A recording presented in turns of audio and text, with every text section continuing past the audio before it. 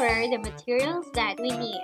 Yellow paint, green paint, pink paint, blue paint, acrylic color white, acrylic color red, crimson red, and blue. And we also need a paintbrush.